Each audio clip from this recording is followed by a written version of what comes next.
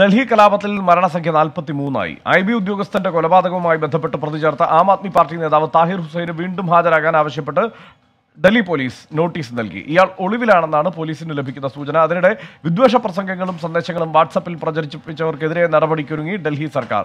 പരാതി ലഭിച്ചാൽ ഉടൻ പോലീസിന് കൈമാറും. ഡൽഹിയുടെ പുതിയ കമ്മീഷണറും ഇന്ന് ചുമതലയേൽക്കും. വിശദാംശങ്ങളുമായി ഡൽഹിയിൽ നിന്ന് ആർ രാധാകൃഷ്ണനും നിതിൻ അംബുജനും ചേരുകയാണ്. രാധാകൃഷ്ണൻ മരണസംഖ്യ പിന്നീട്. പരുക്കേറ്റവരുടെ സ്ഥിതി തൽക്കാലം ഏതാണ്ട് തിരക്കേടില്ലാത്ത അവസ്ഥയിലേക്ക് മാറിയിരിക്കുന്നു എന്ന സൂചനയാണ് ലഭിക്കുന്നത്. മരണസംഖ്യ വല്ലാതെ ഉയരുന്ന സാഹചര്യമില്ല. മാത്രമല്ല പൊതുവെ ഡൽഹി സമാധാനപരമായി വടക്ക് കിഴക്കൻ ഡൽഹി സമാധാനപരമായി മാറി എന്ന് പറയാനാവുമോ ഇപ്പോൾ?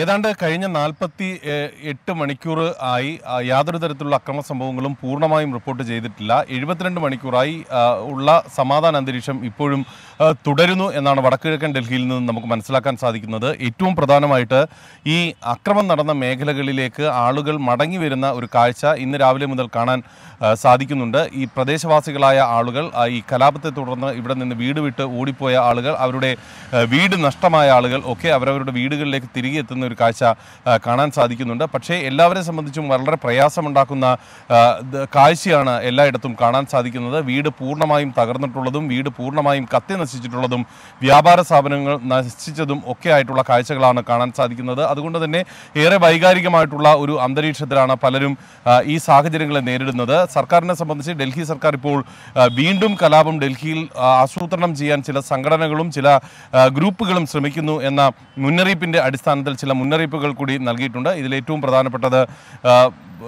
ഈ വാട്സപ്പ് വഴിയുള്ള സന്ദേശങ്ങളാണ്. അതിനിടെ ഈ ഡൽഹി പോലീസുമായി ബന്ധപ്പെട്ടിട്ടുള്ള നടപടികൾ അതിലേറ്റവും പ്രധാനപ്പെട്ടത് ഡൽഹി പോലീസിന് പുതിയ കമ്മീഷണർ ചുമതലയേൽക്കുന്ന അടക്കമുള്ള നടപടികളും ഇന്ന് ഉണ്ടാകും. ഈ അന്വേഷണ നടപടികളുടെ ഭാഗമായി ഇപ്പോൾ ഡൽഹി പോലീസ് കമ്മീഷണറായി ചുമതലയേറ്റ ശേഷം ശ്രീവാസ്തവയെ ഇന്ന് ആഭ്യന്തരമന്ത്രി കാണാനായി അദ്ദേഹത്തെ വിളിച്ചിട്ടുണ്ട്. അദ്ദേഹം രാത്രിയോടുകൂടി ആഭ്യന്തരമന്ത്രിയെ കാണും. ഏത് വിധത്തിലാണ് അന്വേഷണം മുന്നോട്ട് കൊണ്ടുപോകേണ്ടത് എന്നതടക്കമുള്ള വിവരങ്ങളാകും അവർ തമ്മിലുള്ള ചർച്ചയിൽ തീരുമാനിക്കുക. ഹർഷൻ. രാധാകൃഷ്ണനാണ് വിവരങ്ങൾ നൽകിയത്.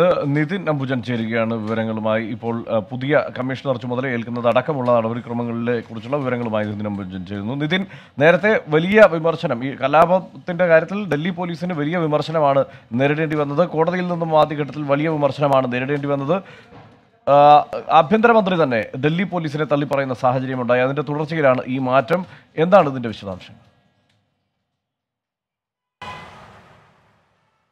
ഹർഷൻ സൂചിപ്പിച്ചപ്പോൾ തന്നെ കലാപത്തെ നിയന്ത്രിക്കാൻ കഴിയാത്തതിനാൽ ഡൽഹി പോലീസിന് രൂക്ഷ വിമർശനം ഏൽക്കേണ്ടി വന്നിരുന്നു. ആഭ്യന്തരമന്ത്രി അമിത്ഷാ നേരിട്ട് അമൂല്യ പട്നായിക്കിനെ വിളിച്ചു വരുത്തി അതൃപ്തി പ്രകടിപ്പിച്ചിരുന്നു. അതിനു തൊട്ടു പിന്നാലെയാണ് Delhi D C P I Shri S N ശ്രീവാസ്തവയെ നിയമിച്ചത്. ഇന്ന് അദ്ദേഹം ചുമതലയേൽക്കും. ഇന്ന് വൈകിട്ട് മൂന്ന് നാൽപ്പത്തി അഞ്ചിന് അമൂല്യ പട്നായിക്കിന് ഒരു യാത്രയപ്പ് പരിപാടി N P L Kingsway ക്യാമ്പിൽ ഒരുക്കുന്നുണ്ട്. അതിനുശേഷമാകും ഇന്ന് S N Srivastava D C P I ചുമതലയേൽക്കുക. നേരത്തെ തന്നെ ഭീകരവിരുദ്ധ സ്ക്വാഡിന്റെ ഒക്കെ തന്നെ ചുമതല അദ്ദേഹം വഹിച്ചിരുന്നു. ഒപ്പം തന്നെ സി ആർ പി എഫിന്റെ ജമ്മു കാശ്മീരിലെ സോൺ ഡി ജി ആയും അദ്ദേഹം പ്രവർത്തിച്ചിരുന്നു. ആ ഒരു പ്രവൃത്തി പരിചയം തന്നെയാണ് ഈ ഒരു ഘട്ടത്തിൽ ഡി സി പി ഐ ചുമതല നൽകുന്ന ശ്രീവാസ്തവയ്ക്ക് മേലുള്ളത്. എന്തായാലും ഇന്ന് വൈകിട്ട് ചുമതലയേൽക്കുമെന്നാണ് ഈ ഒരു ഘട്ടത്തിൽ ലഭിക്കുന്ന വിവരം. ഒപ്പം തന്നെ നൂറ്റി കേസുകളാണ് ഇതുവരെ എഫ്ഐആർ രജിസ്റ്റർ ചെയ്തിരിക്കുന്നത്.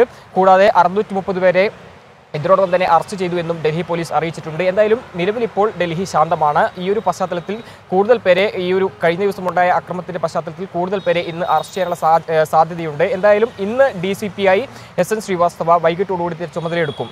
ഹർഷൻ. നിതിനാണ് വിവരങ്ങൾ നൽകിയത്.